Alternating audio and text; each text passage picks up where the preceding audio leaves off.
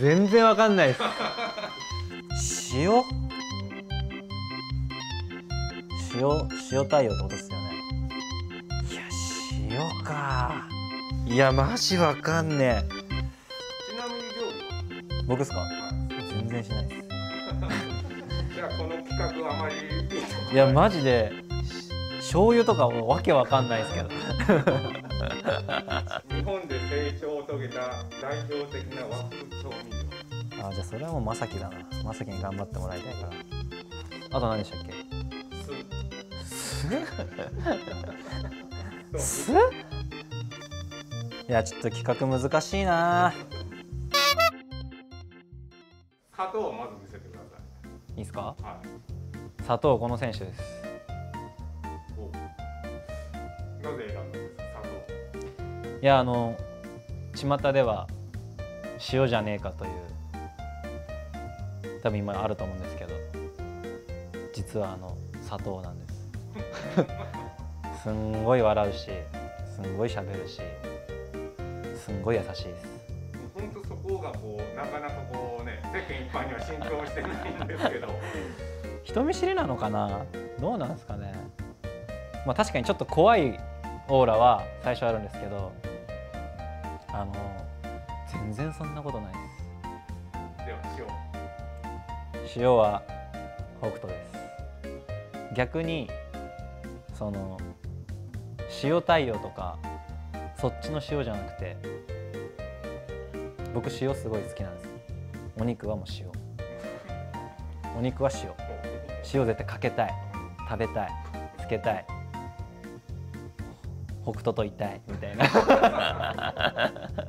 もう彼がいるだけで僕のあのサッカーは1段階2段階上げてもらえる存在。っていう塩です。大学から一緒にしてますよね。はい。大学の時からそんな仲良かった。いや大学の時は全然喋ったことあんまない。喋ったことないっていうか多分学年ごとにそんななんなんだろう。4年生は4年生。3年生は3年生みたいな感じだったのでゲーム中はよく喋ってましたけど普段はそんな喋るってことは下田選手との並びって縦関係横関係あると思うんですけどはい俺が一番。いや縦がいいですね。まあ北斗は多分受け手というよりは出し手だと思うし僕も受け出し手じゃなくて受け手だと思うのでその関係性が、はい、大学の時から、はい、ありました。いやもう常に北斗が俺の後ろにいてくれよっていう。はい。でもう俺だけを見てくれっていう感じですね次酢巣はもう伊佐君。なぜ？なんかちょっと怒られるかもしれないですけどちょっと酸っぱそうなんで 伊佐君にしました。町田選手から見て伊佐選手ってどんな人？一番人見知りなんじゃないかなって思います。実は。だけどあのもし他のチームに移籍ししちゃったりしたらなんかもう誰とも喋れないんじゃないかな みたいな。まあ大分といえば今ねあのレイちゃん伊佐がすごい長い在籍長い選手なんですごい元気にワイワイやってくれてます。醤油。ちょっとあんまよくわかんないですけど。あれ醤油の何でしたっけ？えー日本で成長を遂げた代表的な和風調味料。まあ、成長を遂げた遂げた遂げていくんですけどこれからもどんどん遂げてってほしい選手。あのはい。今季の活躍どう見てました？そうですね。まあ去年も最後の方すごい良くなってきてるなっていうのは思ってたしまあ今年どうなのかなとど今はねあの監督に多分重宝されてる選手だと思うのでただあのこの現状に満足せずどんどん上を見てやってほしいなと思います。やっぱ若い選手って試合に出るとやっぱ伸び率ってやっぱすごいそうですね。特に、まあ、僕の経験上というか最初の3試合4試合ってあの出た時すごいいいんですよだけどまあ4試合5試合目ぐらいからちょっと急にガクッとなるというか、まあ、それはまさきにも話をしていて一瞬そういう時があったんですけどただそこからまたこう持ち直すか持ち直せないかで多分その選手の今後ってすごい決まってくるなって思っててあのその持ち直し持ち直したっていうかより良くなって今があると思う。多分もっと良くなっていくんじゃないかなと思います。はい、はい、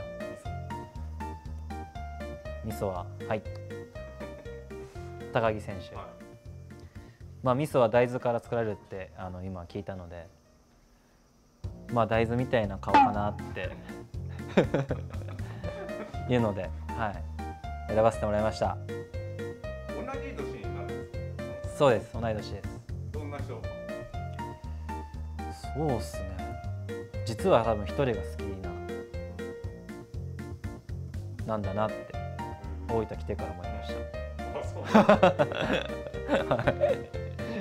同級生ってなんかこう違うものあるんですか？他の学年といや多分まあ旬に限っては僕はあの千葉でやった時やってた時にもうどこもかしこも常に2人でいたんで移動も一緒昼飯も一緒夜ご飯も家族で一緒オフも一緒お風呂も一緒みたいな。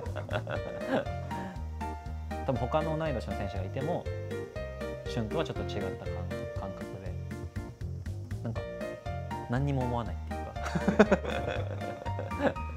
は差し進めそう選んでもらいましたけど、い、はいかがでしたか？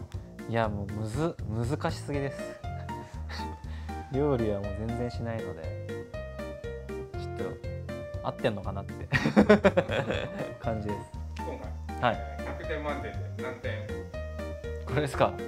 ひ だ自分の中ではもう100点なつもりなんですけど多分みんなが思ってる思っみんなが見てくれたらえ？って思うかもしれないです。わかりました、はい。ありがとうございました